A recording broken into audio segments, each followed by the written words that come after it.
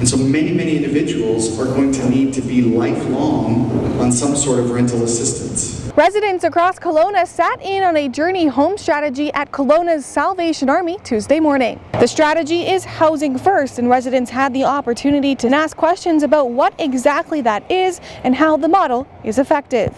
We can't assume that just because they're functioning better, that they're going to have more money to be able to pay rent.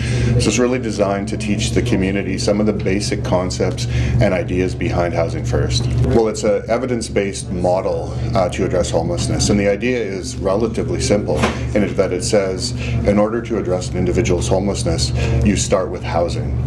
Uh, it also says that it's housing first, not housing only, and it works on the premise that once people have a roof over their head, that they start to open up to other services and supports that will allow them to get connected um, and integrate back into the community. I think it's important in regards to uh, the broader community understanding the issue of homelessness.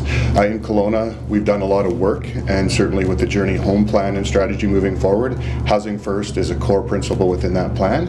And so the ability to understand what Housing First is, to understand ultimately what homelessness really is, how people end up experiencing that, um, means that a lot of the misconceptions, a lot of the stigma, and some of the prejudice that exists in our community will hopefully reduce. The Journey Home strategy was a free to attend workshop running at the Salvation Army from 9 a.m. until 12 p.m. But for those unable to attend, you can visit kelowna.ca slash journeyhome for more information. For Castanet News, I'm Madison Earhart in Kelowna.